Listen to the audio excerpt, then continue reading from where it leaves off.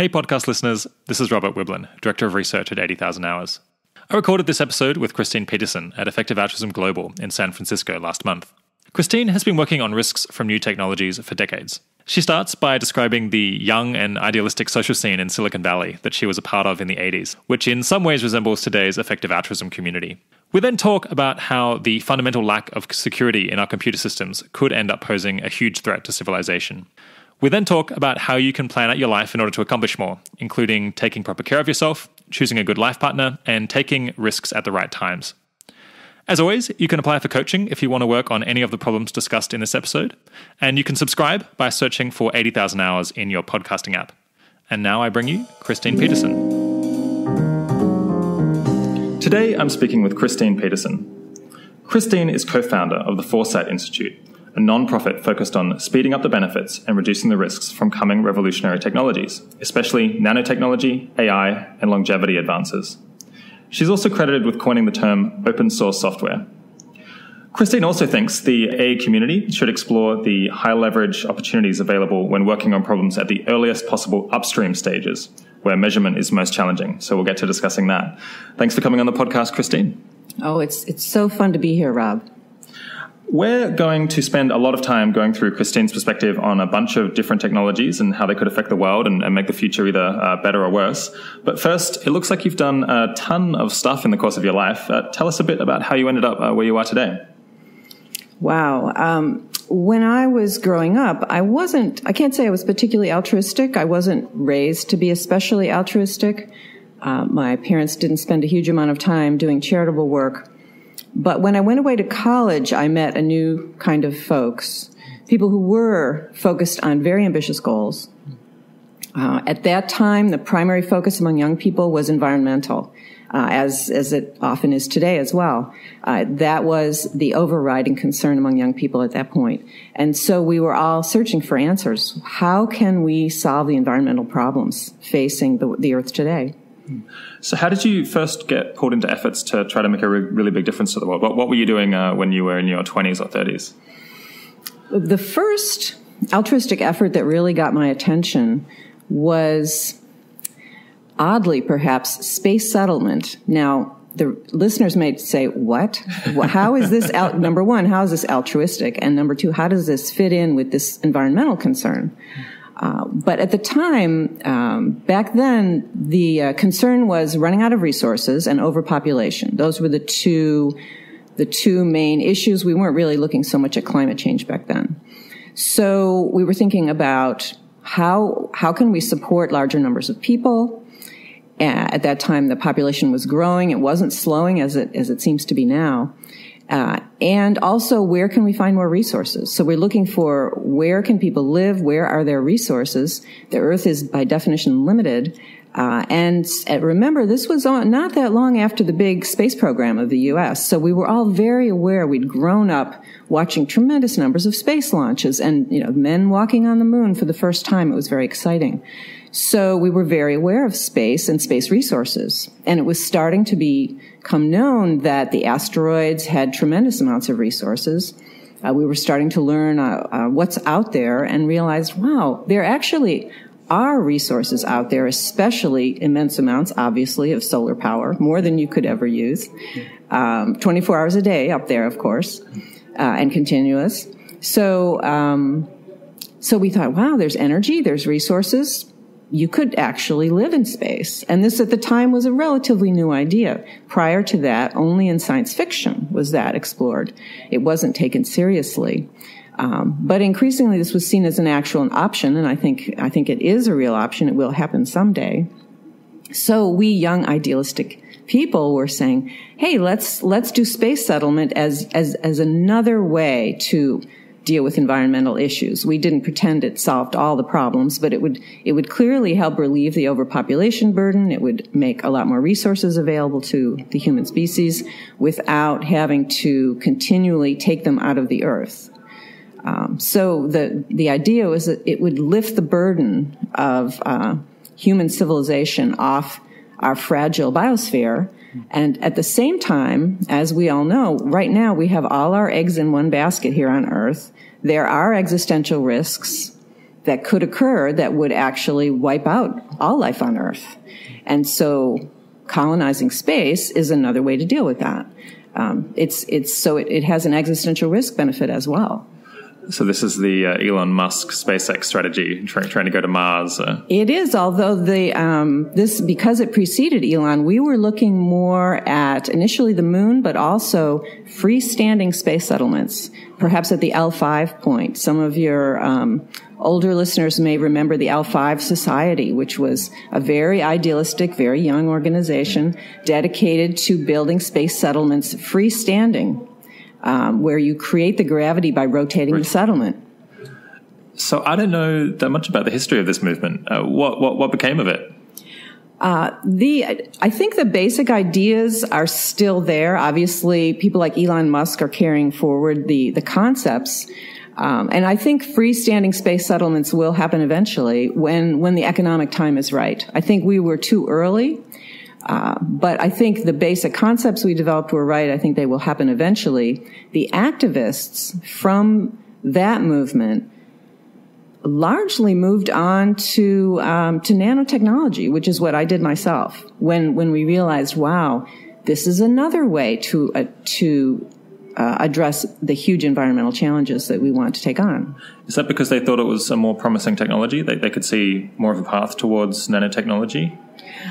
I would say it was, we all understood that the space settlement vision, although technically feasible, is extremely expensive to start. Once you get it going, yes, then you can mine the asteroids and there's tremendous value there. So, uh, but the upfront costs are immense.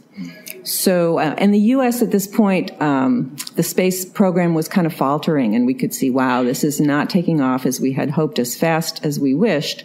Um, but nanotechnology is based on the science of chemistry, and that's some, that's a small science. So the investments compared to space are more manageable. Mm. So we became a little more practical, which is kind of typical of you know you get your people they get older. It's and... true. You say, all right, let's now we really want to get something done uh, that is actually going to work. So uh, I, I, think um, Foresight attracted a lot of these former super idealistic young people who were starting to instead of being in their twenties now they're they're in their late 20s, they're in their early 30s, and, and they're, they're looking for, all right, how can we get more leverage uh, to help our environmental problems? Hmm. So, in the last few years, you've encountered the effective altruism movement. Uh, what, what, what do you make of it? Is it is it similar to the groups you were involved with uh, when you were uh, in your twenties? Oh, absolutely, and it's the same kind of folks. Extremely intelligent people, uh, quite idealistic, quite ambitious, uh, which I think is appropriate. I think every, every, you know, when you have a new generation of extremely intelligent, very idealistic people, you want them to be ambitious. You want them to take on the hardest problems in the world. And that's what effective altruism is doing. Yeah.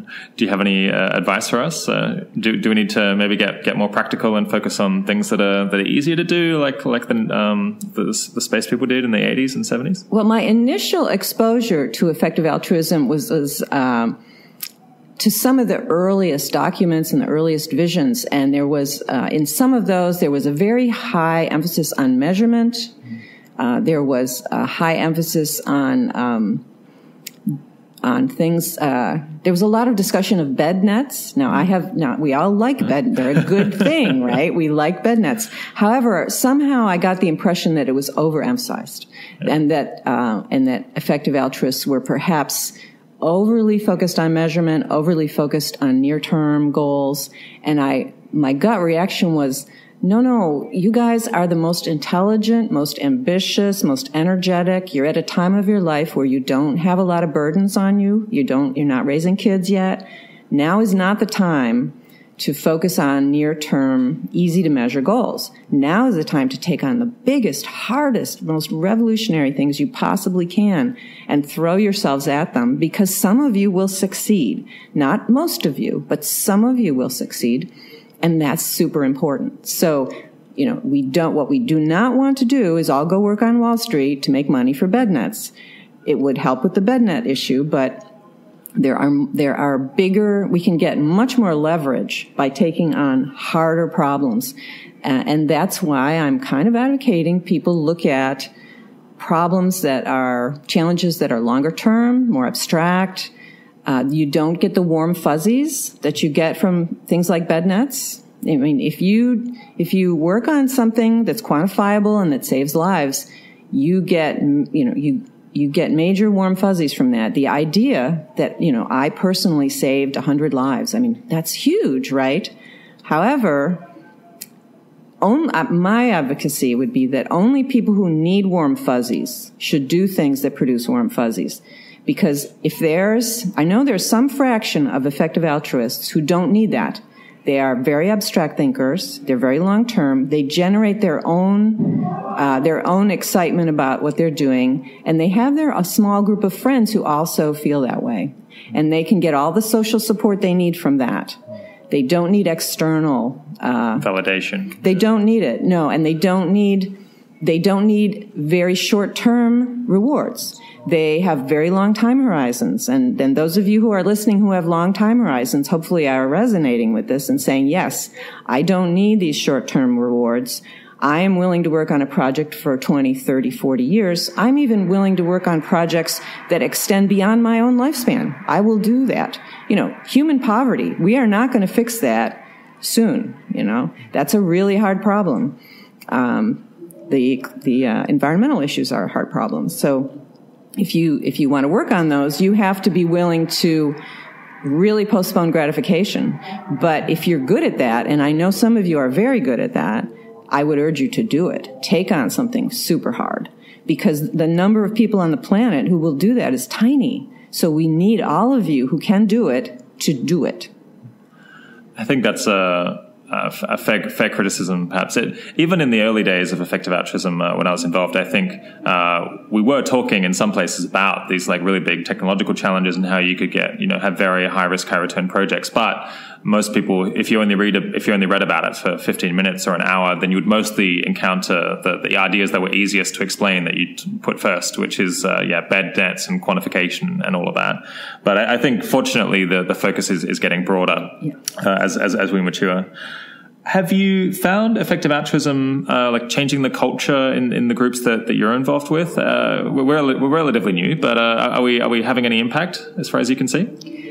Yes, I think so. Um, I think um, because it's a broad movement, uh, I think it's attracting it's attracting more young people to come together in one movement. Before, I think we probably had perhaps. Um, we had a lot of a lot of young people involved in many different causes, but they weren't coordinating. They weren't coming together at the kind of meeting we're at today, Effective Altruism Global, where you have people from throughout the movement uh, coming together at least once a year to compare notes, to give our give each other you know, I said that you don't get warm fuzzies in some of our work. The way we get our, we need, human beings do need some positive feedback, and the way we do it is at these kinds of events. We see our friends, maybe someone we only see once a year, but these are people we feel very close to.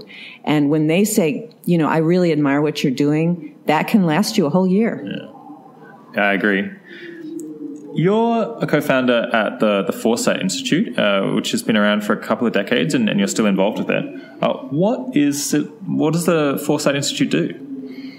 Our goal is to maximize the benefits and minimize the downsides of coming advanced technologies. Uh, our primary focus has been on nanotechnology, uh, we have uh, we are permitted by our docu- our originating documents to take on any technology. Our uh, we are ramping up now work on artificial intelligence. Just this Thursday, we were taking advantage of the fact that so many effective altruists were coming into town here for this event that we said, wow, let's get them in one day early and do a satellite event on artificial general intelligence. So because so many great people were coming into town, plus the fact that we have a lot of good folks here in the Bay Area as well, we got together a, an excellent group of folks to brainstorm about the future of artificial intelligence and how to, again, maximize the benefits, but more important in terms of AI is minimize the downsides. Um, you know, the for-profit sector focuses on delivering benefits. The nonprofit sector, at least at, for Foresight, we focus on minimizing downsides because for profit companies don't do that, and the government is very slow. Um, the government hasn't even figured out about AI at all yet, and they're not going to notice it until it's way too late. So, uh, as you know, as your listeners probably know, there are a number of groups out there now, some of them pretty well funded, looking at the future of AI. But it turns out they don't talk to each other enough. And that was something we had kind of noticed. And we said, well, we can work, we can fix that because they're coming here. Let's get them, let's pull them in a day early and do a heavy duty, serious workshop and make them really work together. And so we did that. It worked really well. I'm, I'm thrilled about it. What kind of specific things did you talk about? Uh, the initial workshop goal was to take note of the fact that time frames for AGI have shortened. Um, people have been kind of noticing that, uh, either one by one or in small groups. You mean people are expecting uh, artificial general intelligence to be invented sooner? That's right. Yeah. Well, what, what kind of time times are we talking about? Well, let's see. So you always get a range. Yeah. No matter any, whatever group, even if you ask one person, you never get a single number, and that's correct. We, we, we can't predict the future. However, if you picture a kind of a bell curve and say, you know, where, where, where is the, uh, where do we start seeing significant percentages of chances? Um, we're starting to hear some numbers under 10 years which is kind of surprising. It's a, a bit alarming. It is a little alarming, yes. Now that doesn't mean that those those are not the fifth. That's not the the peak of the bell curve. The peak of the bell curve is still out there farther, but it's but people are realizing, gee, you know, it's it's there is some there is some chance, some non-trivial chance that it could be under ten years, and that means we have basically no time. So that changes strategies. If that's true, then all of the AI organizations, um, although their primary focus may stay with the longer time frames, because statistically that's still uh, perhaps likely, but we need to have strategies that are robust across a variety of time frames, including relatively near-term ones. and perhaps a, a, different people adopting different strategies. So some people are focusing on what what do we do if a, a, you know artificial intelligence is invented in eight years, and what do we do if it comes in twenty five years? And other people thinking, what if it takes sixty years? Uh, you know, we will need to interview those individual groups. I think each one is re- they're still all realizing. Of course, obviously, it's still a bell curve that hasn't changed. It's just that that the um, that has it has shifted a little bit to the left in terms of sh- slightly shorter timeframes. And um, I think everyone is realizing, no, we really need to go to these robust strategies mm. where whatever we're working on is useful across different timeframes. Mm. Um, and I, I, think it was good to get all the groups together. We got almost all of them in one room and say, all right, let's all acknowledge this.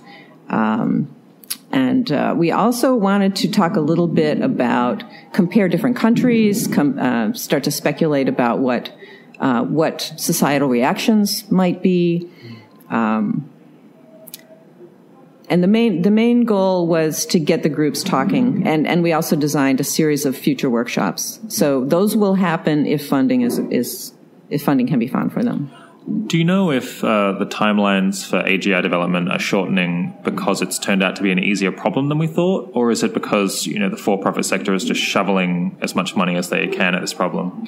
I think uh, the feeling uh, was more in the latter, which okay. is um, people are seeing uh, that this is very powerful technology, even in the early stages, even way before you get to AGI. Just what we have now is extremely profitable technology. Uh, obviously, it has applications in terms of military use. So, uh, yeah, lots and lots of of investment in terms of money and also some of the brightest minds, right? It, this is attracting some of the brightest people in the world, around the world. Yeah. How did Foresight Institute get off the ground? What happened was um, I was at MIT as an undergrad, and one of my friends who uh, actually is also, uh, I don't know, directly or indirectly uh, in the effective altruist movement because he works at Future of Humanity Institute, which is one of the EA groups. Uh, Eric Drexler was also an undergrad at that time. Mm. And we were both interested in space, and then he was the one who had the insights, the original insights, that wow, um, atomically precise manufacturing, what we called nanotechnology back then, is technically possible. Do, do, you want to explain what atomically precise manufacturing is? Because I think sure. a lot of people have misconceptions about what, what nanotechnology refers to. Well, the term is used in a lot of different ways. The particular type of nanotechnology that excited us as undergrads at MIT at the time was saying uh, if you look at uh, biological systems, and at that time, some of the early work was being done seeing how biological systems build things with DNA and RNA, proteins, all that. We were realizing, wow, this is not unique to life. Uh, you could build artificial systems that could do something very like this, uh, but even better. Um, you could build uh, build products, uh, both small products and eventually large product, products, with uh, with every atom in a designed location. Obviously, you have to follow the rules of chemistry. There's no way around that. Uh, but as long as you stay within them, then you could construct pretty much whatever you wanted uh, with atomic precision, being inspired by what we see that's uh, how it's done in nature. So that was the fundamental insight that he had. And we were both very young at the time, and when you hear revolutionary things as a very young person, you're not that surprised because you don't have a baseline to compare it with. So when I heard these insights from him, I thought, okay, sure, why not? You know, I knew enough chemistry at that stage to say, well, this doesn't seem to violate the laws of chemistry, uh, that which uh, is critical. That's the first thing you check. Uh, does is this physically possible? And if it is physically possible, then you have to say, all right, how would we get there? How long is this going to take and how expensive is it going to be? Hmm. But you, you, could have gone into a lab in academia and or industry and tried to develop atomically precise manufacturing, but instead you uh, made a nonprofit that's focused on the risks and rewards and, and so on. What, why, why do that? We could see that this technology, when it reached its full extent, would have tremendously revolutionary consequences for society. Some of them would be, many of them would be positive.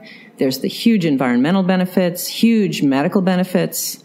Uh, and then, of course, there's always the problem of, of military use, uh, military offensive use.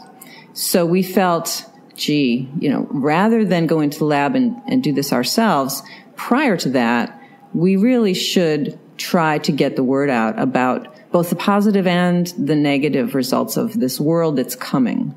And that was the decision to, that we made that, all right, we will, we will open up, open up this information to the world so that we aren't alone in this quite a lot of people are, skeptical that you can do a lot of pre- preparatory work uh, to to make sure that um, new technologies are, are used well and, and, and, don't cause harms. And I guess to, to, some extent, it's it's been a little while now, and atomically precise manufacturing isn't here, and it doesn't seem like it's exactly around the corner. So one, one could say that some of the early work there might have been wasted, or perhaps it was was premature. Uh, what, what do you think of those criticisms? That's re- that's a, it's a great debate to have I wish I knew the answer. And uh, to go back to something we talked about before, this is one of those cases where uh, you're doing a one-off, unique activity, and because there is no way to run any kind of a control, we will never be sure. We'll never know. Uh, we can guess, we can speculate whether it was a good thing or not to do that. Um, but it's it's literally impossible to know. It's all it's just speculation. Um, all we can have is kind of a gut feel and say, well, I think it was better that we did this that we, that we didn't, or we can say, well, I wish we had just gone in the lab and done it. So, um, it's I don't know how to make that evaluation. Yeah. Who funds a startup nonprofit focused on making a technology that doesn't exist yet safe? We realized that they were powerful ideas and that if, for example, a book could be written that conveyed them in a persuasive way, we felt that it would start a movement. And that was true. Uh, the book was written. Um, I, I, my, I didn't write the book. I, I helped comment on it, but my role was more on an, uh, of an earn to give situation. Um, I spent about five years in the only job I've ever had that wasn't altruistic, uh, and just to make some money.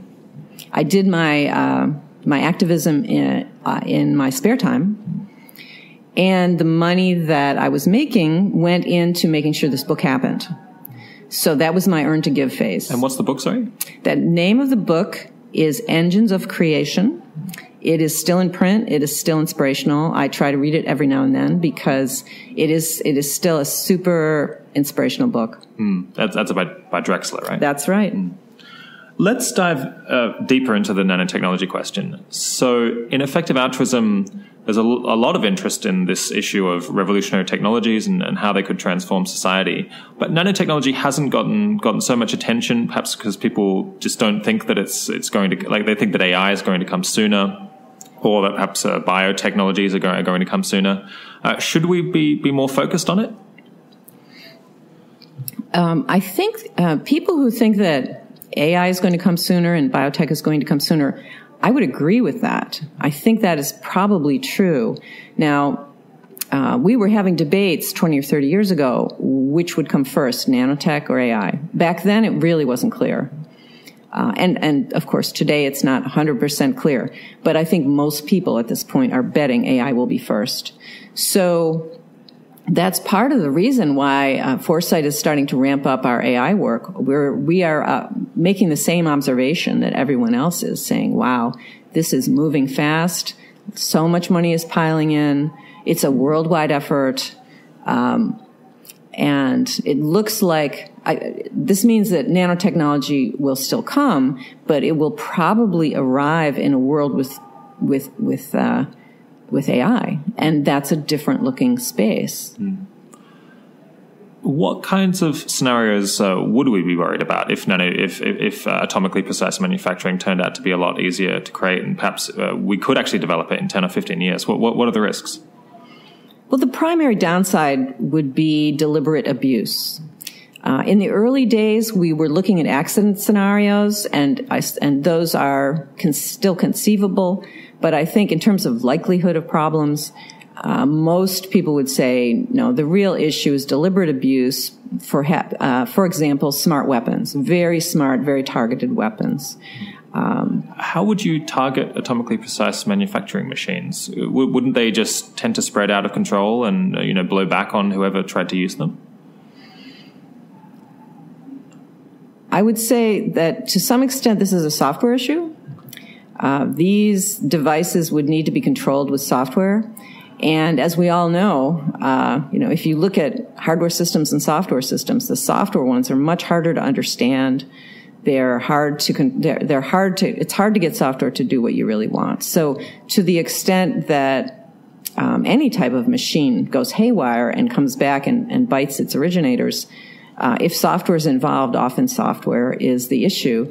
And in fact, software security, computer security, is a huge, huge issue. Foresight is taking, uh, as far as I can tell, I haven't, I haven't heard of another organization um, that is taking it as seriously as we are, and that is in part because, uh, first of all, it's an immediate problem. It's happening right now. Uh, the risks are very high. The vulnerability is high and it does affect um, how AGI will play out in the future. Hmm. All right, we'll, we'll come back to, to that one. It, nanotechnology might be a lower probability risk, but it's also more neglected. Uh, how many people in the world do you think are working on risks from, from nanotechnology? Oh, very few at this point. Um, there are very few, actually, there are very few people working on uh, biological and chemical risks compared to the magnitude of those problems also there just aren't that many people working on risk of that of that risks of those types yeah. So it still could be useful potentially uh, even even if we think it's quite unlikely that nanotechnology is coming soon or, or is coming before other breakthrough technologies. If we feel that our AGI is coming before molecular nanotechnology then it's still worth thinking about scenarios involving it, but you have to do it in a totally different way because basically you have to solve the AGI problem first. Hmm. So that's a huge, it's a huge, it makes it very hard to even start to think about molecular nanotechnology because first you have to fix the AGI problem, and we're nowhere near that. I guess I'm thinking it now looks maybe 90% likely that we'll get artificial general intelligence before nanotechnology, but that could turn out to be wrong. Maybe you know, nanotechnology will turn out to be a lot easier to develop, and AI will, will, turn out that this machine learning isn't actually the paradigm that, that we need to, to develop AI. So maybe you want to have a few people in the back pocket, uh, you know, working on what what would we do if uh, atomically precise manufacturing came first. Yes, I think that's true. I think it would be wise for society as a whole to recognize that that possibility. Um, we're society as a whole right now is not very good at allocating yeah. people to low probability risks, and yeah. so, uh, frankly, we need we don't have enough people working even on the major risks right yeah. now. So. Uh, once we get that under control, then we can start to say, all right, let's Think let's allocate some folks to the to the less likely things. Yeah. How can you tell if uh, the Foresight Institute is making a difference? What kind of metrics do you focus on? Well, that that comes back again to this challenge of um, measurability. I I realized pretty early on, I think we all did, that Foresight, because it takes fairly complex positions on things, we're not 100% pro technology and we're not 100% anti technology. We take a balanced approach. Um, only a small segment of people have the time horizon and the balanced and, and, and can get passionate about balance, right? It's an unusual thing to get passionate about. Um, so I knew we were going to always be a small organization.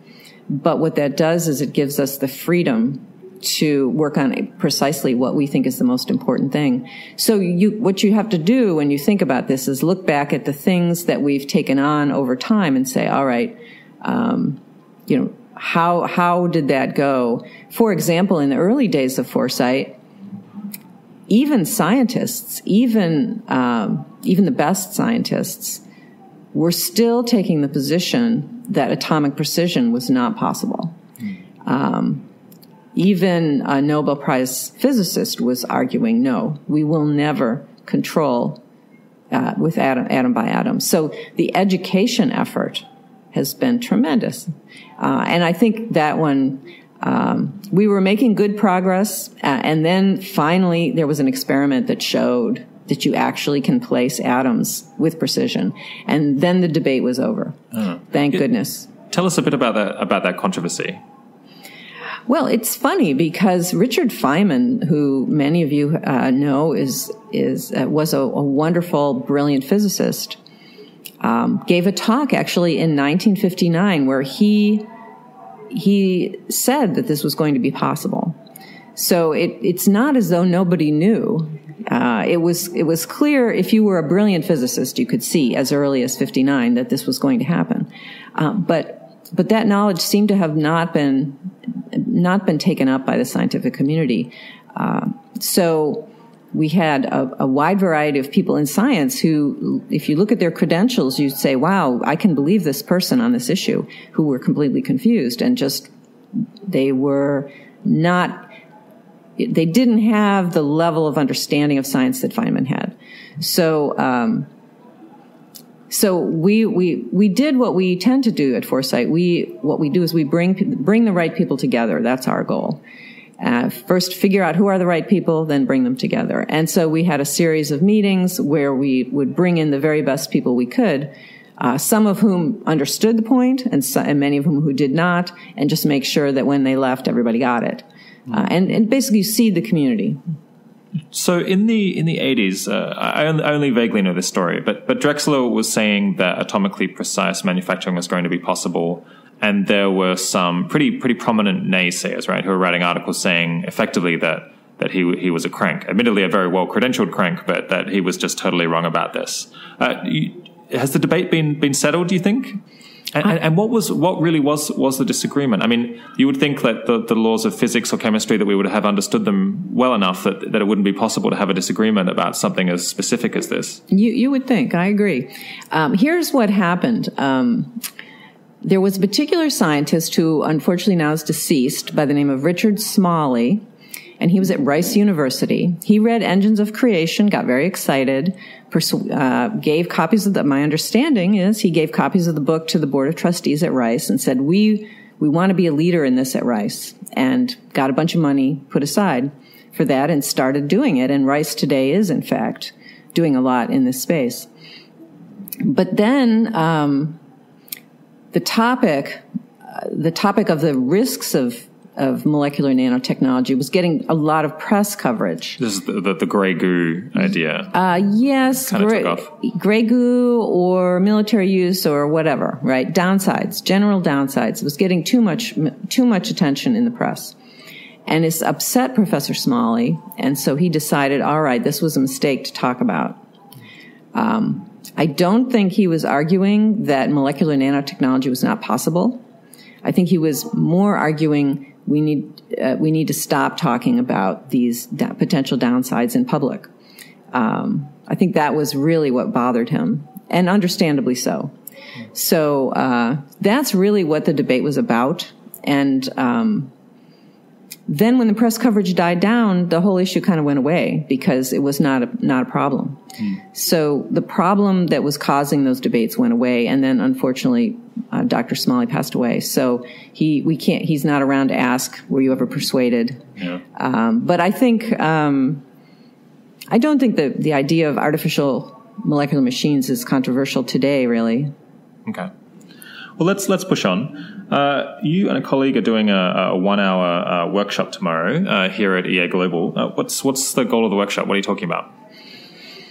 Well, as a, a theme that's come up uh, as we've been talking more than once is this challenge of uh, deciding how, what challenges to take on when measurement is difficult, and that's the topic we're going to take on, which is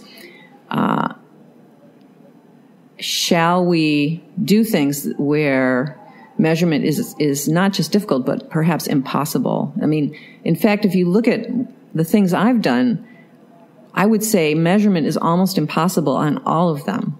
I can i can retroactively come up with a measurement scenario for the coining of the term open source software. I can come up with one.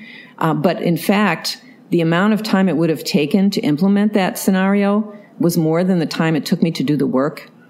So there'd be no point in doing it. Just do the work. And I did it. Hmm. It was faster to do the work than it would have been to figure out whether to do the work. so I just did the work. Um, the Foresight Institute uh, was kind of at the, at the, bleeding edge of this nanotechnology issue and, and this question of uh, revolutionary technologies.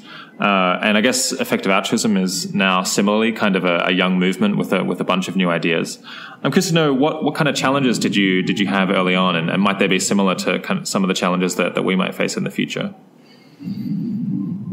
Yes, uh, I think I think there are some similarities. I would say that any any early movement is going to attract a wide variety of folks, many of whom are extremely competent and have great social skills, some of whom are technically competent, maybe not such great social skills. And then on the fringe, you'll sometimes get some folks who are enthusiastic, but but it's very hard to figure out how they can contribute in any way. So the challenge for a young movement, and, and, in the early days of a movement, you want to welcome everyone. We're all very enthusiastic. We're excited.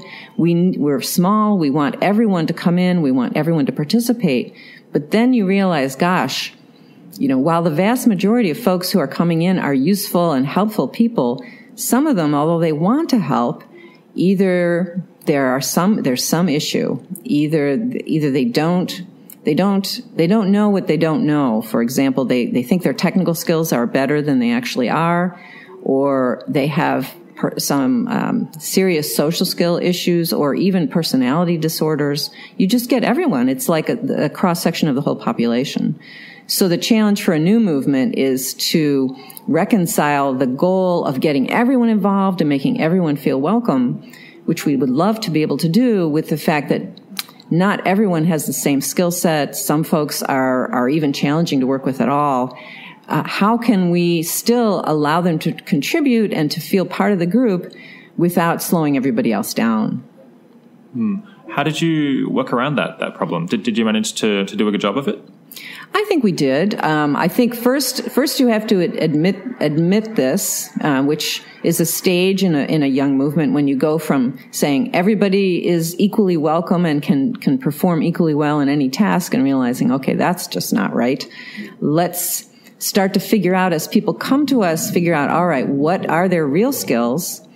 Um, and sometimes the person himself or herself knows that, and sometimes they don't and then how can we direct them into a role in the organization that is is the the highest use of their time? Sometimes there are folks where really the best use of their time for the movement is in an earning to give role and they can be made welcome at open events uh, where where their their contributions are appreciated and they are giving they're given those warm fuzzies we all need but we don't necessarily put them in a, in a full-time role at the organization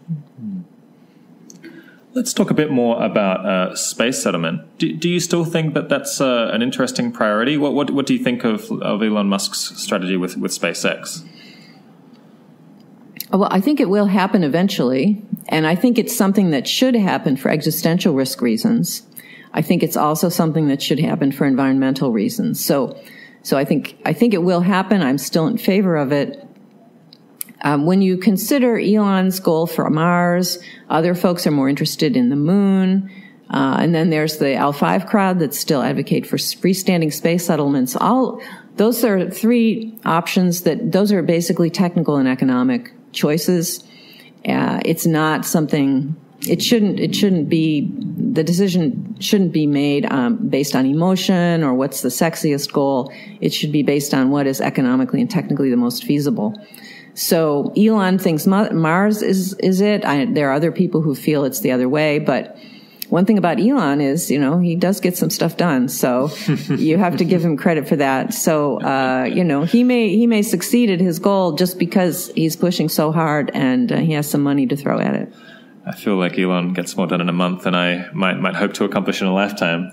That said, I've I've been something of a, a, a critic of this idea of space colon, space colonization as a way of dealing with with existential risk. Um, the, the, idea is to kind of back up humanity on Mars. So if there's ever a disaster on Earth, or at least this is one reason that you might do it, uh, go to Mars so that um, you have a second copy and potentially they can come back and recolonize Earth if humanity is in deep trouble or, or even extinct here. I think if if that was your goal, wouldn't it be a lot cheaper just to stick people under a mountain in a mine shaft, or or, or dig you know dig very deep and create a very uh, you know, um, uh, a bunker that's that's extremely well stocked and people could live for a long time, or put people under the sea or, or, or on Antarctica. Those places are all very difficult to have freestanding independent colonies, but they're still a lot easier than, than Mars, I would think.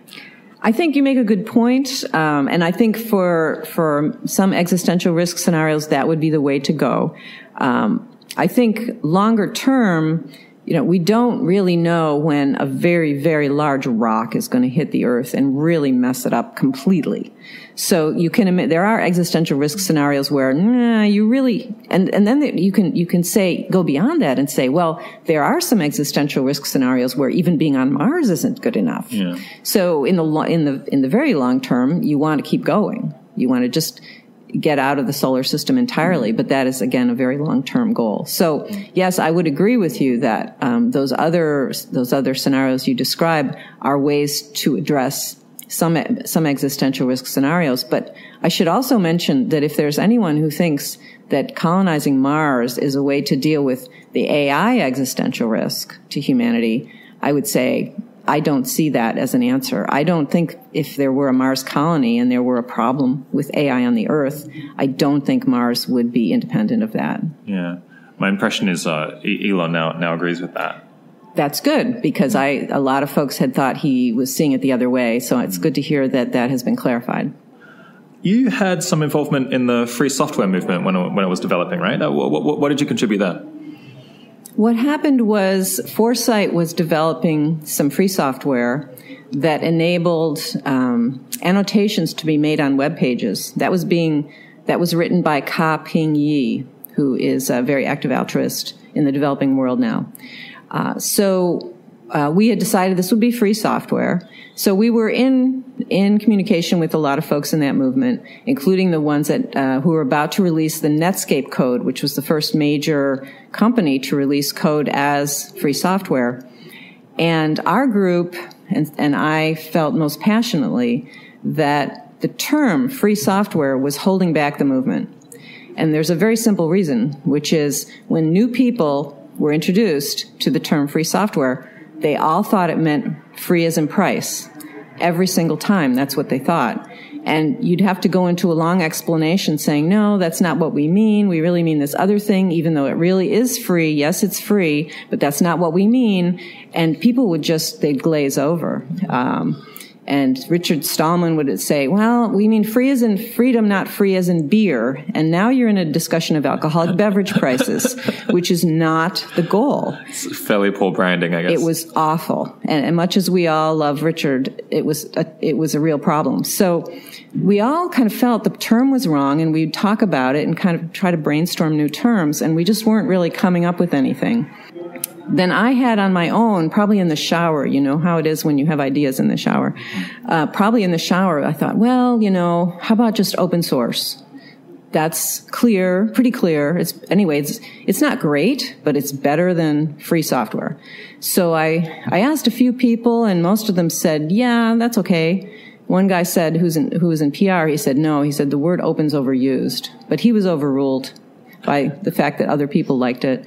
And, but but uh, now the challenge was introducing it. How do you change the name of a movement? Like, what if somebody decided that effective altruism was a bad name, but and they had a better name? How would they introduce it? I mean, you have an active movement. You can't just rename it. Yeah. It's not easy to do. You have to have the movement agree with you.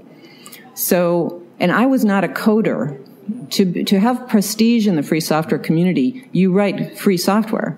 And if you can't write co- software at all, you have no prestige at all. You have no standing. So, uh, so what happened? Well, what happened was I was helping out uh, Eric Raymond. He was visiting in the Bay Area. He had prestige in the community. So we had a, a, a meeting. It wasn't about the name at all. We, we weren't discussing that. Um, but one of the other people in the room knew about knew about this proposed new name of that I was hoping to introduce. But I could see, you know, give, given my lack of prestige in this group, I, there was, I had no standing to even bring up the issue. I think people probably thought that I was either Eric Raymond's chauffeur or possibly his girlfriend, which I was not. I was married at the time. So, uh, so we were talking away on other issues and uh, me, me actually being silent when this other fellow who knew the name, he just used it. He didn't propose it. He just used it as a term. And I thought, whoa, okay, let's see what happens now. And they talked away for a while, and then somebody else just used it. It's like, whoa, the meme has jumped. The virus has spread to a new, new mind automatically. We didn't even have to suggest it. It just jumped. Uh, and that's when I thought, okay, this is going to work. Um, and it was not until quite a bit later that the community actually held a vote of the leadership. And I was not there, which is appropriate, as I was not a leader in that community. So the leaders of the community made an active a decision to rename it. Um, they voted between the term sourceware, which was also a good term, and open source, and I guess open source got more votes we had a slightly similar experience on a much smaller scale uh, at 80,000 hours in the in the very early days. Uh, some some people might remember that Earning to Give used to be called uh, professional philanthropy uh, for about a year, but we found that uh, that was quite a confusing term to a lot of people because they were imagining Bill Gates and and Zuckerberg. Uh, it, it, had more of an emphasis on being richer as a philanthropist and, and, and giving giving the money away rather than uh, going out and trying to make the money. So we uh, basically decided in one day we're going to call this earning to give now. Uh, we sent an, an, email to the to the uh, professional philanthropy uh, Google group uh, Google, at the at the time, and then we just started calling it that. And basically, the switch was overnight. It was it was very easy, but the, the group was a lot smaller then. I think trying to rename it today or trying to rename effective altruism would be a real uphill battle. Well, fortunately, both earning to give and effective altruism are pretty darn good terms. I think. We talked about computer security uh, briefly earlier. Is that something that we should be recommending that more people go in and, and specialize in and become real experts who can contribute and, and make computers safer? I would say yes. I mean, if you look at the future, the future is run by computers. Nothing will be not computerized, right? We're already largely there. And the problem is these computers are, are almost in every case are insecure. Um, it's not going to be very long before auto- automated software, and I'm not referring to AGI here. I'm referring to AI of AI, the AI of today, maybe AI of today plus two, three years, um, is going to be automatically able to probe for flaws in security in the software. And what that means is they are going to take, they, they have, they're going to have the capability to take them all down. And our civilization now is dependent on these machines. Um, we will not get food. We, we will not get water. We will not get electricity if they get, if they are taken down. So, uh, the scenarios are pretty serious in terms of, I wouldn't say that it's not an existential risk for humanity, but it is a huge catastrophic risk what what can we do? Is is it actually possible to make computers secure, or is this just uh, do they have to be air gapped or something really extreme to to make sure that people can't break into them? Well, fortunately, they don't have to be air gapped because that would basically mean we can't have networking, and, and networking is absolutely necessary. So no, there are. T- it turns out there are two.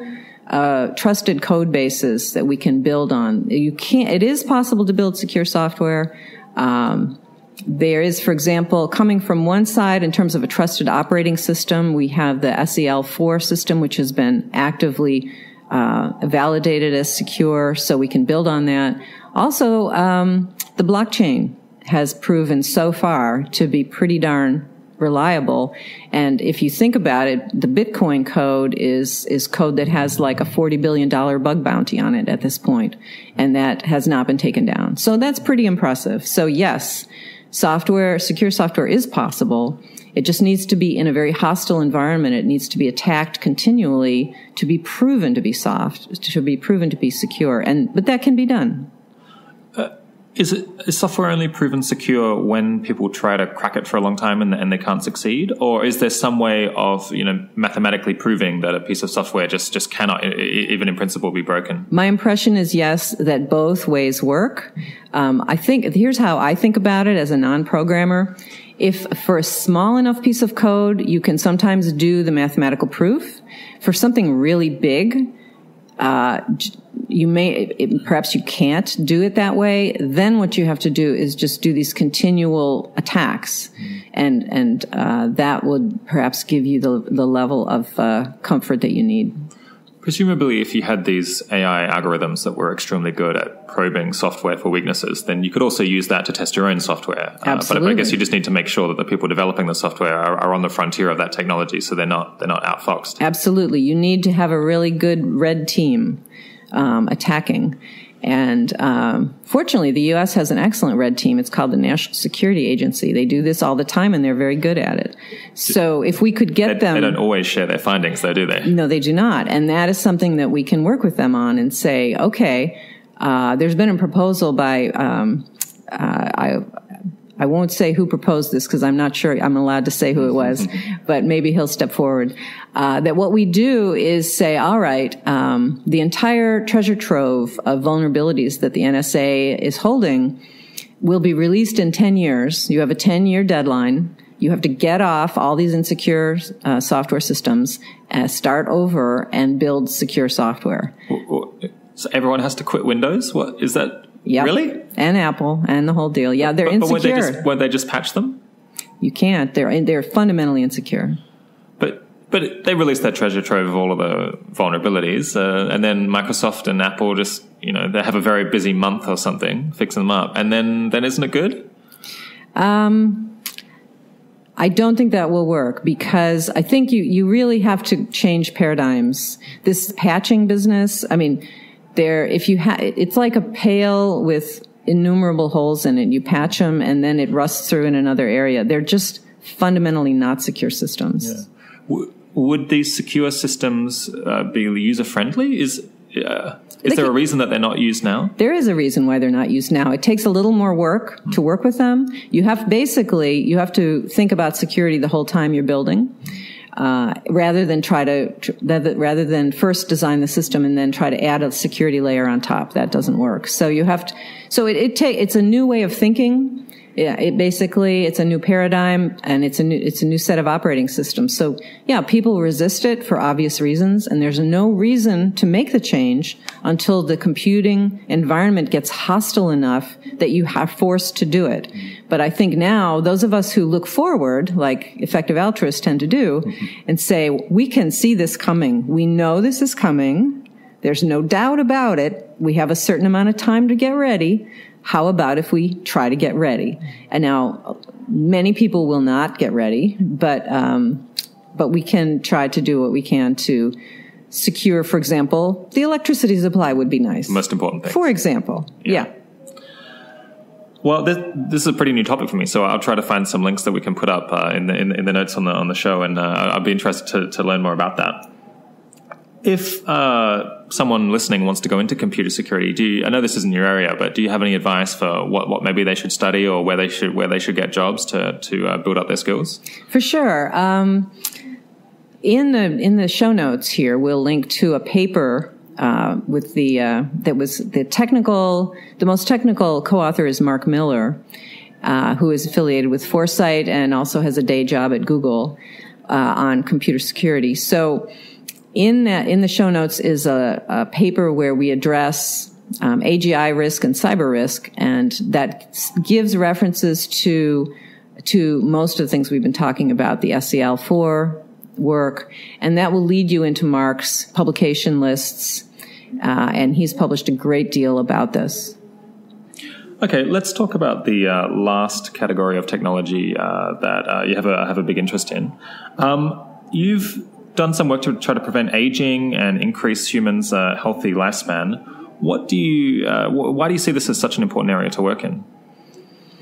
I, th- I, think there's two ways to come at it. One is if you just look at the number of human life years lost to aging, um, it is it far outweighs any other disease that that we're tackling as an EA group. So if if if human health and and disease is your concern, I think aging aging wins in terms of just the number of, of human life years lost total. It's by far or like orders of magnitude. So so there's that argument. Um, and then from a very personal perspective, you know, most of our listeners perhaps are young EAs, but they, imagine yourself uh, as an older person. You've built up these decades of experience doing effective altruism, and now it's going to be, it's going to disappear. Now you can try to pass that on to young people, and, and older people do try to do that, but there's a lot of losses there. So in terms of the, the basically the intellectual capital of the EA movement itself, um, aging is gonna is gonna decimate it. It's gonna be awful. Yeah, I think this this would be one of the, the biggest economic effects of uh, reducing aging. Uh, at the moment, people tend to study for between you know the first eighteen years of their life, maybe thirty years if they're going through and finishing a PhD. But if uh, people were living two or three hundred years, or, or really uh, an indefinite lifespan, if uh, we managed to basically just stop aging altogether, then people could spend fifty years training uh, until they were just, uh, you know, by, by today's standard, ab- absolute world experts, uh, and then they they could work in the field for the for the rest of their lives, you know, developing even even more expertise. So it could be an enormous transformation in terms of productivity.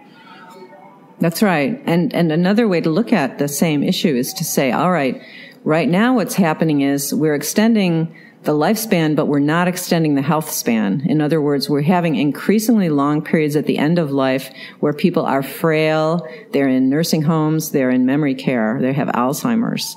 Um, and not only does this create tremendous amounts of human misery, it sucks up, immense amounts of capital and money that we need for other things. So uh, it's it's just a tremendous loss. It's a tremendous dead weight on society.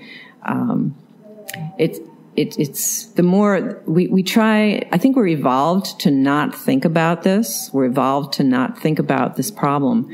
And it takes, we have to be, we have to really try hard to say, all right, I'm not going to get emotional about this. I'm going to think hard and clearly about this. Hmm. In terms of benefit to, to me personally, it's hard to think of anything that would be uh, more valuable. But in terms of benefit to, to the entire world, I, I could spend time uh, trying to, you know, uh, save my own life or save the life of all of the people I know who are alive now, or I could work on some of these other problems that admittedly might not make sure that, that I live for, for that much longer, but mean that future generations uh, will survive because humanity won't go extinct because of some disaster or civilization won't be, won't be really uh, thrown off track. Uh, where do you kind of stand on, on that trade off between, you know, life extension seems particularly good for the present generation, whereas some other problems might be better if you're thinking about, you know, the, the, the lives of future generations as well? Well, uh, there's a number of ways to come at that. Um, first of all, I'm glad people are thinking about these different questions. It's not I, the goal isn't for all EAs to work on aging, right? The goal is for us each to think these things through and try to find our point of leverage. So, but in terms of why I look at this in particular as a high leverage, we mentioned the large number of human life years lost. Um, there's also the point that although it, initially this may seem like a first world problem, it may seem selfish to work on aging because it will help us and it will help the wealthy nations. Uh, it turns out that if you look at developing nations and the poorer countries, because of um, advances in healthcare over there, increasingly the problems they're having are aging related as well. And the problem there is that they're being faced with these extraordinarily expensive problems of aging without having gone through the process of becoming wealthy countries first. So even though the burden on wealthy countries is immense in terms of the cost of these um, frail elders, if you think about the cost to the developing countries, it's proportionally much, much harder on them. So we tend to think of aging as a first world problem. It totally is not. It's a problem that affects even poor countries now, and they are the least able to handle it. So I think it's, it's really a global problem. Do you want to comment on the, on the technical side of anti-aging work? Aging is a is a tremendously difficult technical problem. However, um, I kind of like the strategy that Aubrey de Grey argues for, which is a repair scenario. Rather than trying to prevent all aging processes, which was really hard, although in the long term, perhaps we can do it. Uh, in the near term, we can probably focus on doing repairs of I think he identifies something like seven major processes, whatever the exact number is. And he's got some pretty creative ideas. Some of them, uh, some of them will work. Some of them are, are uh, will probably need some modification. But I think that we can come up with some workarounds, some some shortcuts, some tricks that will gain us time while we work on the really deep fundamental issues. Hmm. So you, you don't think it's uh, it's too impractical to imagine that we could make significant progress on aging within a couple of decades? Is, it possible that you know this this could actually help help me or you, or is it is it more something that we're doing for for our children? There's disagreement on that. I think I think that um, I think it could certainly to the folks who are listening to this, many of whom are in their 20s. I absolutely think it it could help that generation. So whether it can help my generation, which is one generation older, um, I think in our case, perhaps it will. Um, I think I think there it it could. It could. I think it's quite possible. And then there's always the backup emergency strategy of cryonics. Uh, some of the people I know in EA are signed up for cryonics. I am signed up. So it's that sort of, you know, your worst case scenario is, well, we'll just have to wait, wait it out and uh, hope that advanced technology eventually kicks in and can do the repairs. What do you think are the odds of that? I think the, the technical odds are excellent. I think the challenges come in terms of things like societal disruption that would uh, disturb the organizational structure that has been uh, come up with to make sure that the people who um, are in cryonic suspension are well taken care of at the right temperatures and the electricity doesn't fail. Remember, we just talked yeah. about electricity failures. So, um, so there are societal issues, but I think the technology, the science will eventually work out. So as I understand it, we're, we're pretty good at doing the, the preservation and we're, and we're getting better at figuring out what do you need to put through someone's body uh, before you freeze them to make sure that uh, all of the, all of the structures and, uh, aren't, aren't, disturbed at all. But do, do you really think it's, it's that likely that um, at some point in the future we'll be able to, you know, reanimate people effectively or undo the damage that that, that caused them to die? I, I guess. Um, I guess I, I, feel like I'm fairly optimistic about this, but that, that still seems to me, uh, you know, not not not super likely. We're talking about like five percent or ten percent rather than fifty percent. Okay, I want to kind of turn around. You made two points, and I kind of want to tweak on both. One is, you know, the question is: Is damage caused by the current suspension procedures? I think damage still, even though uh, even though it has improved, damage still is caused. Um, I think it's repairable damage but uh, but there is some damage still. Now they are coming up with new procedures um, involving um, pressure, I believe, which reduces damage even more. So, uh, but I think whatever repair procedures take place in the future, they're going to have to, for people who are suspended today, there is going to have to be some repair work of the damage itself. So then the second part was, what about doing repairs on the original problem that caused the person to die, whether it be cancer or heart disease or Alzheimer's, whatever. Um, on that one, interestingly, I'm more optimistic in the sense that by the time these repairs are being attempted, we will have such incredible amount of data on what a healthy body looks like.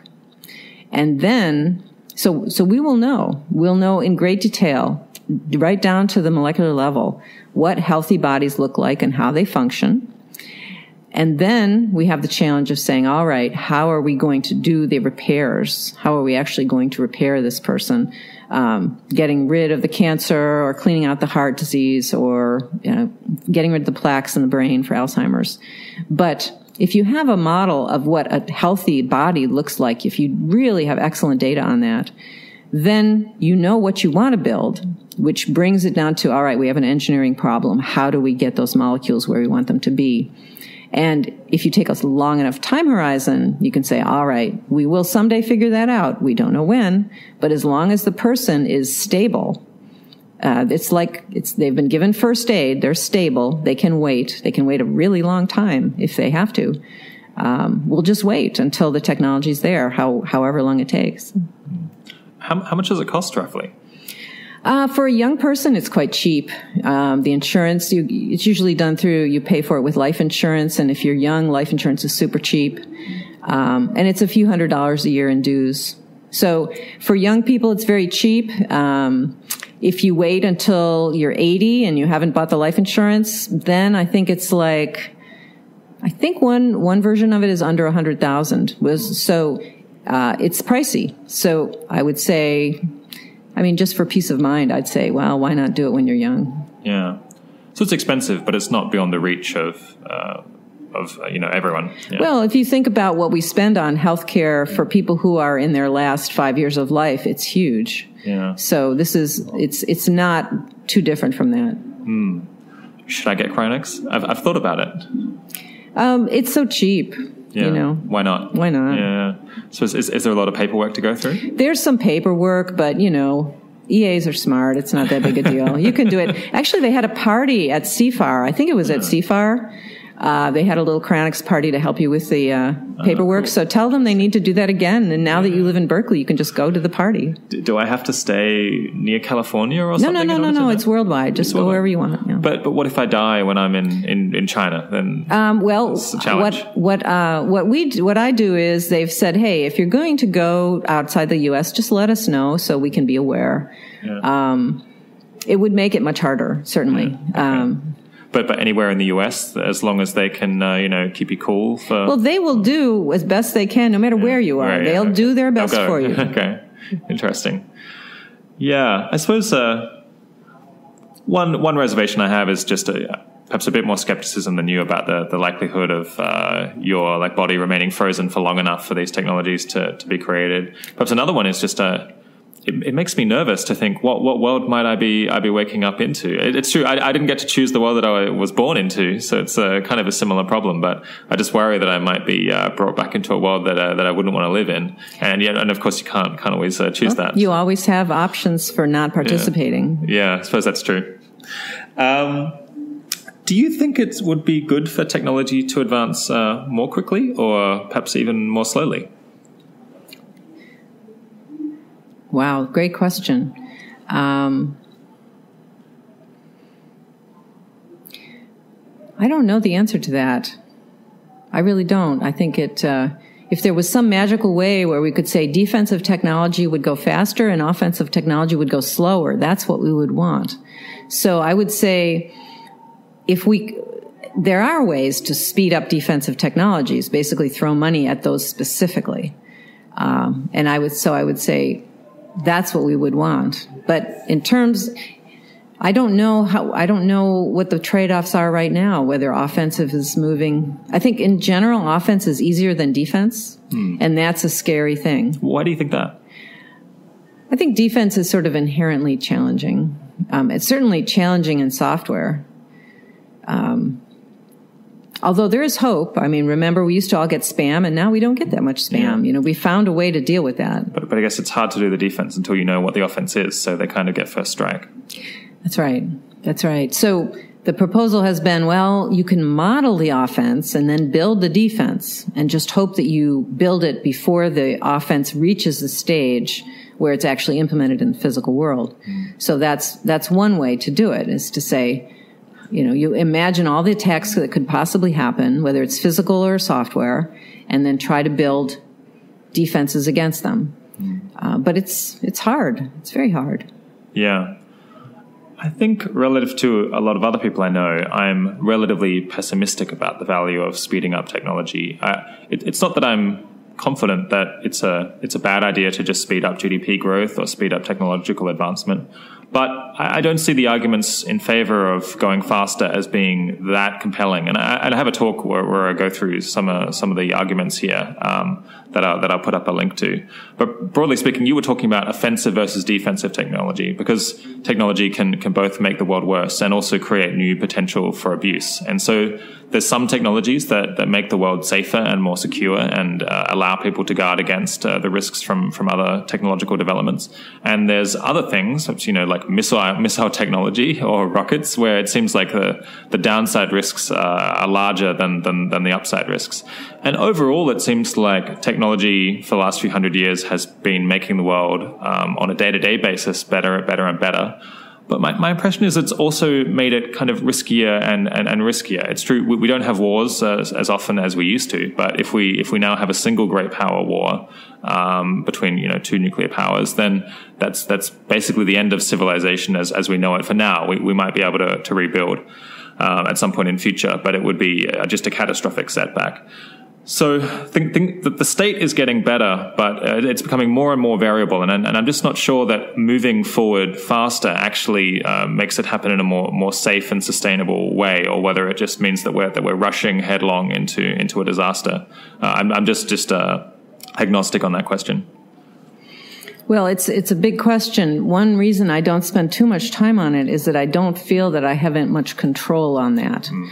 What I do have some control over or possible influence on is this ratio of offense to defense. So I can try to say, all right, the world needs to and my personal current crusade might be, hey, you know, we need to do we need to do defensive software, which means computer security. We need to do defensive biology, which means preventing aging um, so just focusing more on the defense. But in terms, there's another factor that you didn't mention here, which is in addition to things getting more dangerous in terms of a great power confrontation, one thing that's definitely happening is smaller and smaller groups of people are, are being able to do offensive attacks with powerful technologies. For example, it's coming that eventually smaller groups of people are going to have biological weapons of some, they're going to be able to develop uh, artificial, you know, new viruses or tweaks on viruses.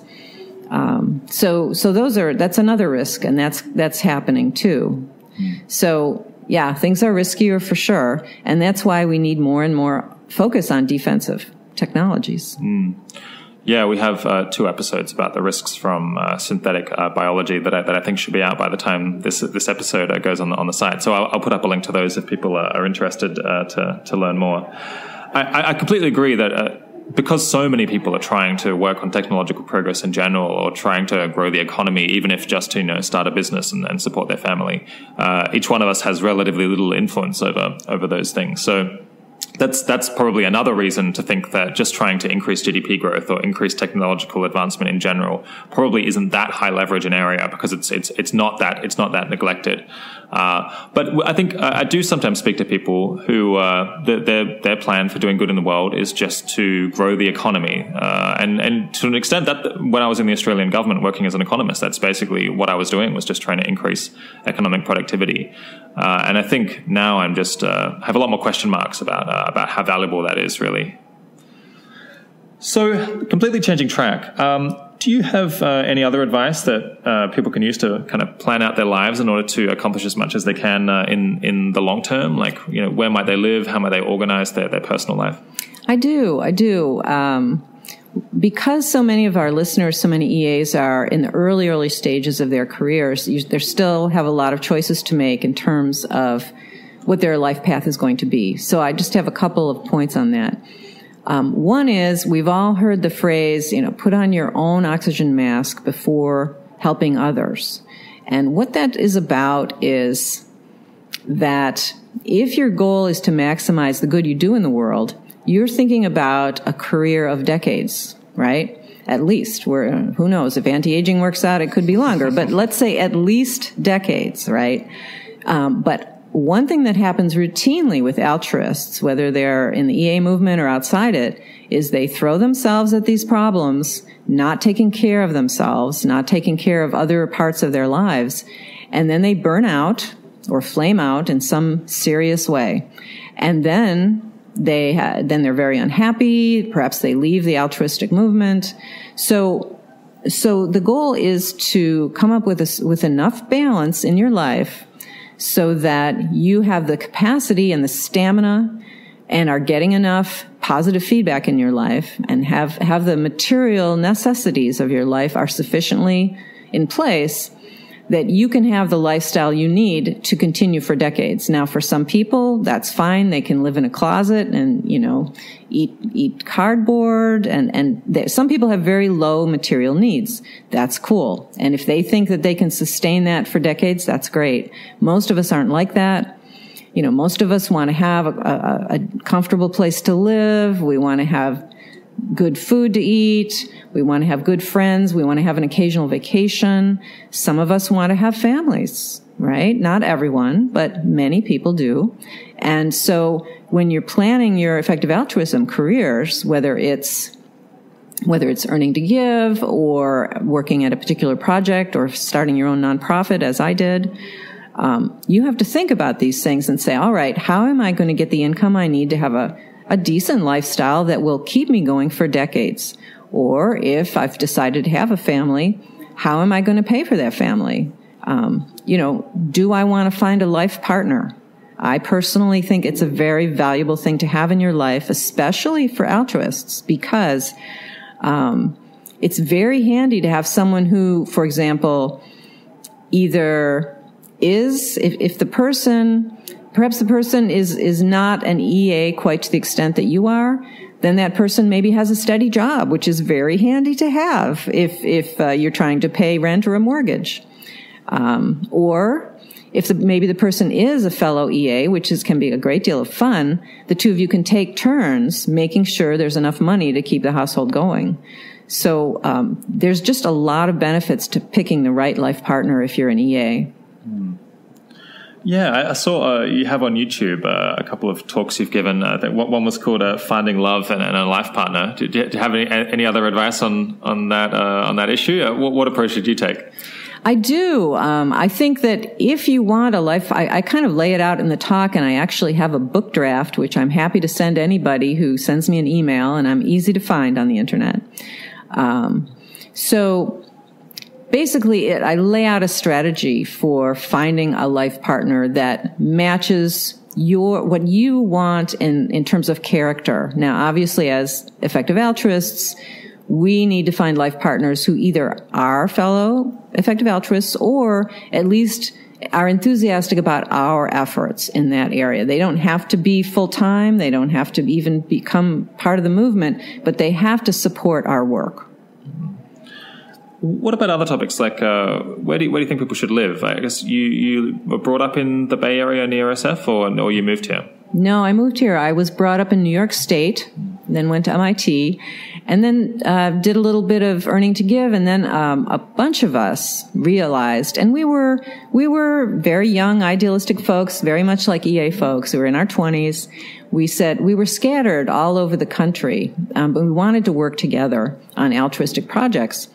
And we said, where are we all mo- willing to move to? And the only place that everyone was willing to move to was the Bay Area, San Francisco Bay Area. So that's what we did. We all moved here and we did our work together and it was great. Um, now, we don't need all effective altruists to move to the Bay Area. You know, we don't really want that. It's a very expensive area to live in. Um, and we want altruism to happen all over the world. So, um, each one of us has to think about, all right, what specific things am I working on? Where am I going to find, you know, can I do it alone? Do I need a team? Where can I pull that team together? Um, it may not. There's a lot of a lot of great folks here, and it's a great place of, of ferment in terms of EA. But there are other good places as well. So, uh, although you, what you might consider doing, a lot of people do, is come here for some period of time some people stay, some people take what they've learned and go, go elsewhere. They may go home to where they came from, or they may start in a totally different place. Hmm. Yeah, on this on this topic of lifestyle strategy, I, I when I when I was uh, younger, maybe uh, five or ten years ago, I used to think that there was a, a lot of tension between uh, you know having a good life personally and, and doing a lot of good. Mm. and I've learned that that uh, sometimes there are conflicts there. Mm. Sometimes there's trade offs to be sure, but by and large, uh, it's very hard to be highly productive and uh, you know get a lot of work done for many years unless your life is, is in reasonably good order, unless you have good personal relationships, you're taking care of your mental health, you're getting, getting treated for anything that you need to get treated for, you know, taking care of your physical health as well, and, and just feeling comfortable in your life. If, if you don't have enough money to support yourself and, and that, that makes you anxious, or you don't have enough money to get healthcare, you don't have friends to support you, it's just so hard to get a project off the ground and, and stick with it, uh, you know, year after year after year. And, and, it's just highly likely that you're going to, at, at some point, uh, give up. That's very true. So um, it's a balancing act, and I think if the goal and and our goal should be, I think, to maximize the the work that we do for good over a lifespan. You, that doesn't mean maximizing the amount of work you do right now. It may mean pacing yourself, uh, taking care of your financial needs, taking care of your family issues, especially taking care of your health, right? That's super critical. You don't want to, you don't want to burn the candle at both ends for too long. When you're really young, like in your early twenties, you can work long, long hours and you're fine. Um, but don't assume you can be able to do that forever. you, eventually you're going to pace yourself. You're going to say, Hey, you know, I need that vacation. And I do recommend vacations for EAs because what happens to me, and this happens every single time, you know, it seems like a luxury, but I go away for, you know, two or ideally three weeks is better. Actually, it works better. And then you come back and you're so supercharged for, and you have new ideas, new enthusiasm. You're just raring to go. And all that excitement that you were kind of dragging before, suddenly your work looks fun again. So I would say, even though it's hard to get away, try to get away for two or ideally three weeks a year at least and and by vacation remember the, the vacation is about vacating right go somebody go someplace else get out of your apartment get out of your house go somewhere far away you can probably stay with EA somewhere, right? They probably would be thrilled to have you crash on their couch and tell you about what, tell them about what you're doing and hear what they're doing. So get, get out now and then. Yeah as I uh, as I as I get older, I'm starting to notice uh, some of the first signs of uh, signs of aging. My you know aches and pains where I didn't have them before. Mm-hmm. Not don't quite have quite the same energy to go out several nights in a row. Perhaps get hungover where I didn't used to. Mm-hmm. I guess that the, the anti aging work can't come soon enough, as as far as I'm personally concerned. You got that right. so, uh, are there any other lessons that we can learn from your career, and uh, any other examples that you've set that people could follow? Uh, well, yeah, I would say one thing. Um, one thing I found very useful for what I like to do is if you have a passion for a new topic, it's perfectly okay to start a whole new organization around it. And that's what we did. Um, we probably could have found an existing organization that would allow us to work with them, but that doesn't give you the freedom that you have if you start your own thing. It's very easy to start a nonprofit. Um, the paperwork isn't that hard. The challenge is raising the money. So, it, but if you think you, if you have a passionate cause uh, that's relatively new, um, if you can find people who are excited about it and will donate, it's perfectly fine to start your own group. Um, and we did that. We were still in our 20s, started our own nonprofit, and it worked out very well. Because if you keep it small, um, you're terribly nimble. You can, you, you don't, there's not a lot of politics. Um, those of you who've worked in organizations, whether they're for profit or nonprofit, you know that politics is the mind killer that makes everything not fun. And when things aren't fun, it's very hard to get good work done. So the way to keep it non-political, and at least the way we've done it, is you have very high standards of behavior for everyone involved and um, you keep things small and keep it so you can move fast, make decisions quickly. And that has worked well for us. And I don't think it's necessary to go work in a big nonprofit first. For example, um, when when he took over at MIRI, Machine Intelligence Research Institute, Luke Muehlhauser uh, was I don't think he had nonprofit experience. So what he did was he went around to everybody he knew who had nonprofit experience and interviewed them at great length and took copious notes. And I was one of the people on his list. I'm sure he talked to many others. And basically, rather than um, spending many years learning these lessons by uh, working in another organization, he just went around and got the same exact information through interviews, much quicker. Um, so I, I, would say, and, and then he did a great job at MIRI. And I think it's because he did those interviews, took it very seriously. Uh, and if you can find advisors who will tell you the truth, for example, um, things like what I just said about the politics. You know, when you're picking your board, make sure that there's no politics. Just don't, do not tolerate politics. We don't do that stuff in our organization. Um, I think I think that was really smart of Luke, and it worked well. So, and MIRI, I think, uh, did well under his direction because of that. So, yeah, I, I'm an enthusiast of if you can't find an organization that's doing what you want to do, just start your own. Uh, you just make sure you have that support, and uh, and then you can do it. You can do it in your twenties. I did. So you said that uh, early in your career you were driven a lot by concerns about uh, you know overpopulation and, and resource scarcity. Uh, it seems like people in the effective altruism community are maybe less worried about those risks than than people in the in the general population. Uh, we tend to be more concerned about other threats from from new technologies, not not so much climate change, but perhaps like new new weapons that uh, countries might use against one another, or ways that technologies could accidentally turn out to be really catastrophic. Uh, are you still concerned about uh, you know environmental problems, or have you also kind of moved on to these to these other perverse effects of technology? That's a good point. Um, and I think it's appropriate, really, that EAs are focusing elsewhere. And here's why. Back when I was first thinking about these things, there wasn't really much societal support for environmental improvement. Uh, there was no department. Uh, there was there was no envir- environmental protect- protection agency. These kinds of things, or were the, or it was very small. So so back then, these things were under underrepresented in terms of people working on them. Um, but now we have this huge bureaucracy and lots and lots and lots of people and lots of regulations and lots of there's academic work. I mean, there's huge amounts of work in the mainstream world on environmental problems. So since EAs are looking for leverage points and places that need more attention, it's perfectly reasonable for them to say, hey, other folks are already addressing this. Uh, you know, there's huge conferences where where all the countries come together to talk about these issues. Um, we don't, you know, it's not a leverage point for us. We should look for problems that are either newer or are, if not new, they're at least not sufficiently appreciated.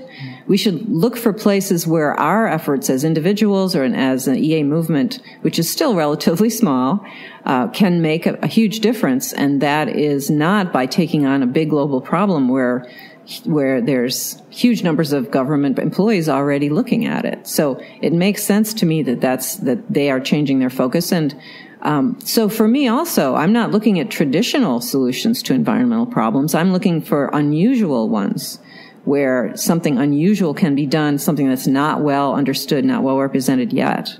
And I think that makes a lot of sense given the size of our movement. Mm. Yeah, I think that's something that it's very easy for, for people to misunderstand when they read 80,000 hours uh, materials. Uh, we have a have a problem on uh, problem profile on climate change, uh, and we don't take, and I certainly don't take a contrarian view at all on, on how bad climate change uh, will be or how big a threat it is. I, I, think it's just as serious as you know. I just take the the, main, the scientific consensus uh, basically uh, as, a, as a given.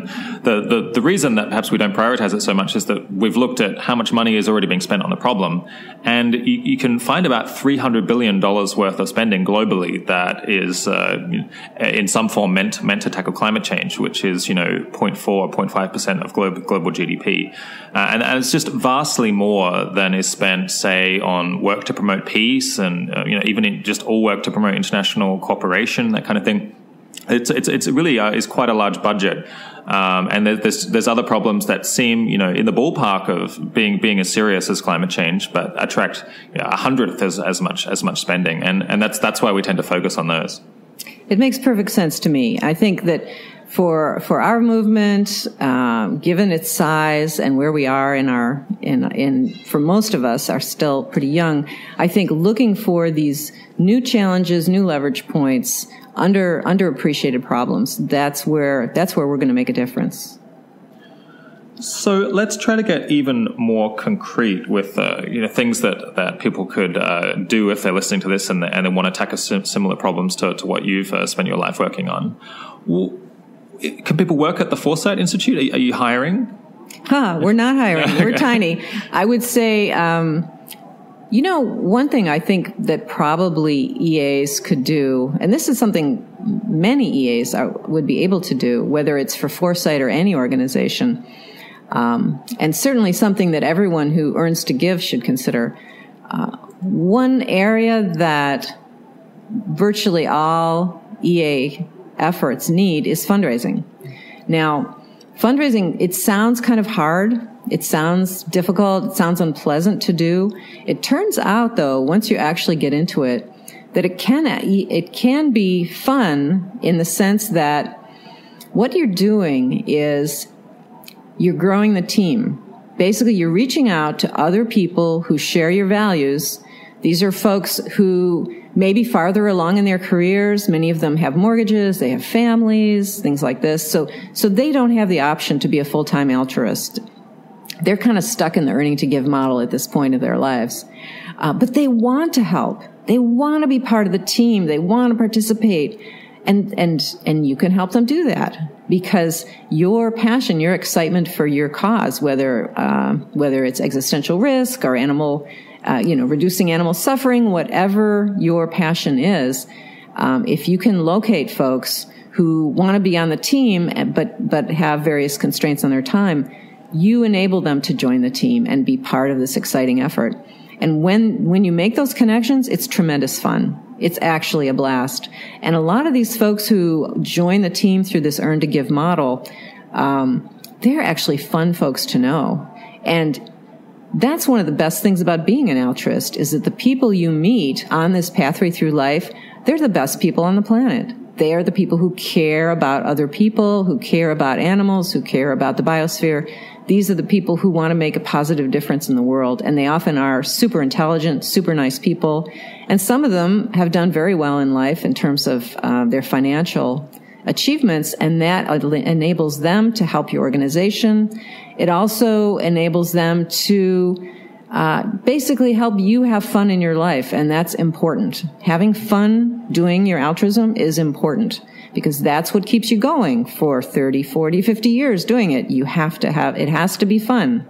It doesn't have to be fun every second, but it should be fun. Now, another thing that makes this easier than it ever was before is there's two reasons why there's more money in the hands of young people today than there probably has been in the past ever, which is number one, high tech jobs.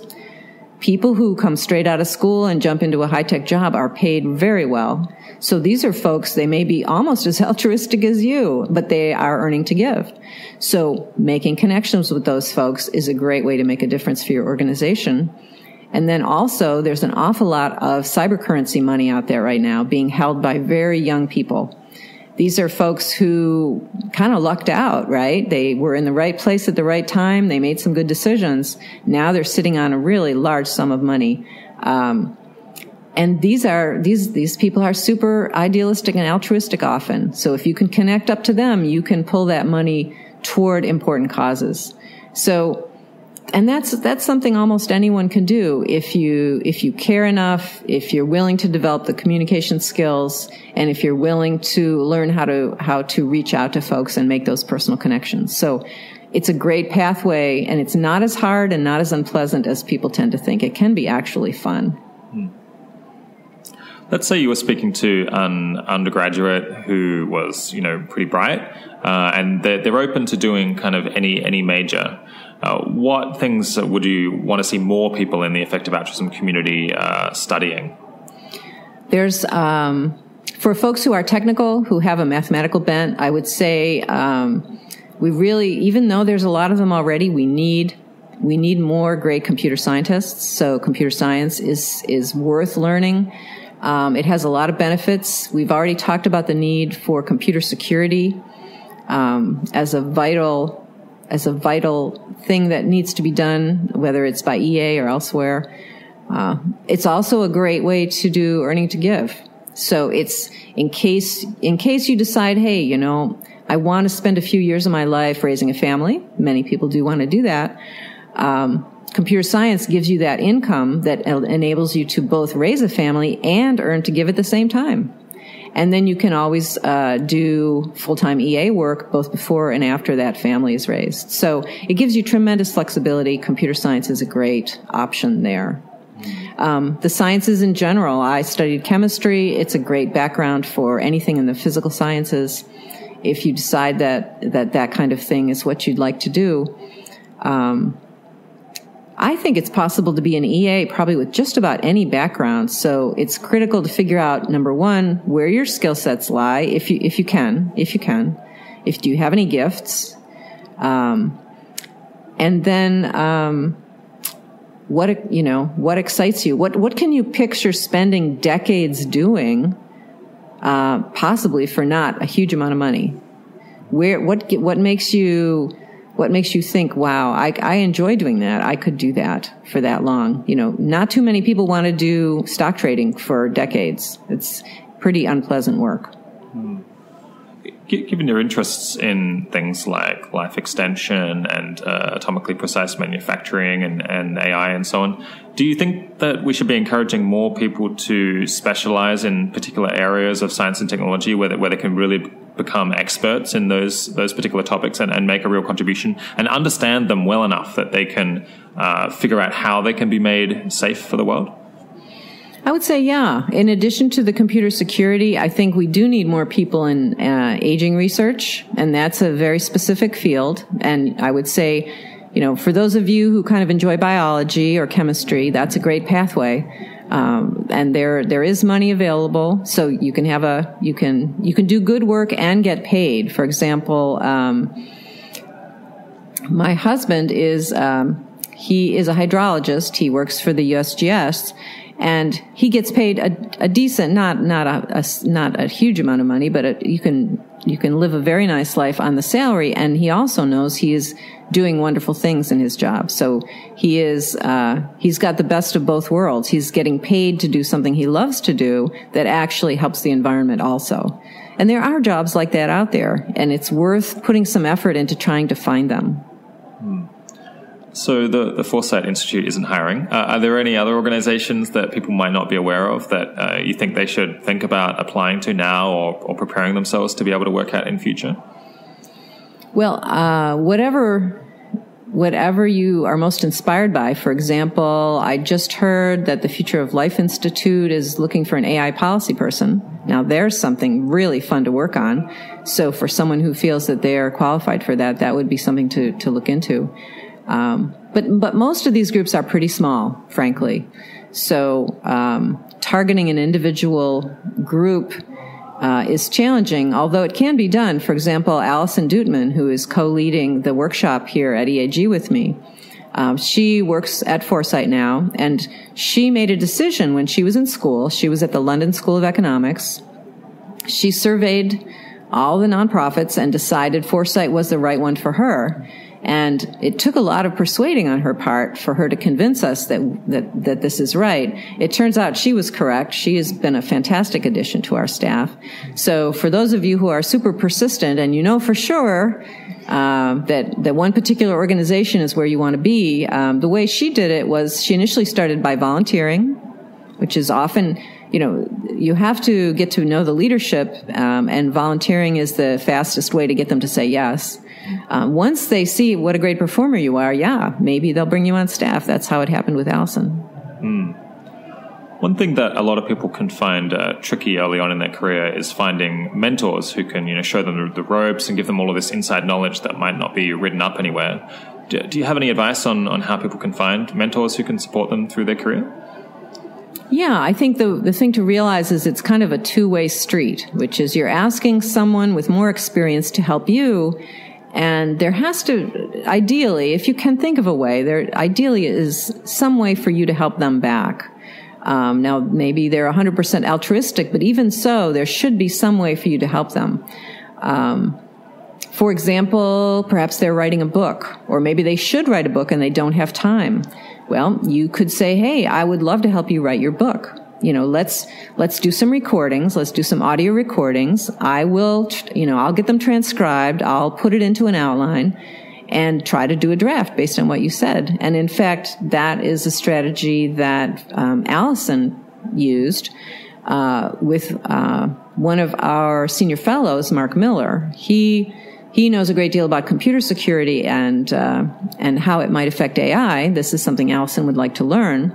So she said, "Hey, let's you know, I will help you write a paper on this." Uh, and that's how we did it. Uh, Mark didn't have time to write, but he did have time to just give us a few hours of talking. So we interviewed him. We we recorded it all transcribed it, and then massaged it into a paper, which we will link to in the references on this show. So, you know, yes, it was a lot of work for Allison, but it's a great way to number one, learn the content, and number two, build a great relationship with, with your mentor, because now your mentor is super impressed and is going to go way out of his or her way to help you in your career. What uh, conferences do you go to? If someone was trying to uh, get, get get you as a mentor, how could they how could they possibly meet you? Oh, I'm easy. I'm easy to meet. I invite people over for tea at my house all the time. Okay, but uh, but yeah. So which which conferences do, do you go to? And uh, if people are interested in this kind of same things as, as you, there's there's EA Global where we're at, of course. Uh, are, are there any others that you regularly attend? Oh, I go to a lot of conferences. I just, uh, in conflict with this meeting actually, is the Startup Society Summit, which looks at blockchain, seasteading, um, special economic zones. Um, I go to aging conferences. I go to, um, I go to futurism conferences in general. I, I I go to a wide variety and I find I, all of them are valuable. So it's pretty easy. Actually, the easiest way to, to meet me at a conference is get me invited as a speaker because then I show up and I give my talk and talk to whoever wants to talk to me. So that works great. What's been the biggest downside of, of the path that you've taken? Let's see. Um, I ha- I can't say there are big downsides actually because um, I realized pretty early on that it was necessary to have that balance. Um, like most people in their 20s, I was heading off into, well, I'll just sacrifice my whole life for this. I won't pay attention to income. I won't pay attention to my health. I'll just burn the candle at both ends, work every hour that I possibly can, but I realized, okay, this is not. This is not sustainable. It's fine for a little while, but then it's not sustainable. So I thought, all right, we have to come up with a model where I get a decent income. I can afford health insurance. I can pay my rent.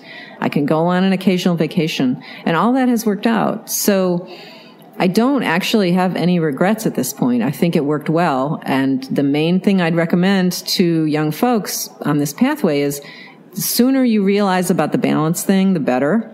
And uh, put some work into selecting your life partner. Make sure that all the character traits you need are there and that the person appreciates your EA efforts, uh, either joins you in them or at least is appreciative of the fact that you do them. Uh, and make sure that you you you have a pattern that will last for decades. My guest today has been Christine Peterson. Thanks so much for coming on the 80,000 Hours podcast. Great, Rob. This has been so fun. I hope you enjoyed that episode. It was good to get a chance to talk to someone who's been working to improve the world a lot longer than I have. If you did enjoy it, then uh, consider sharing it with your friends on Facebook or Twitter so they can find out about the show. And if you'd like to work on reducing the risks from new technologies and foreseeing the, the problems that they might bring, then you should definitely apply for coaching from 80,000 hours. We've helped a lot of people find uh, relevant job opportunities and figure out how they can scale up to get the roles that they want in future. There's a link to apply for coaching in the podcast show notes and the blog post. Thanks for joining. Talk to you next week.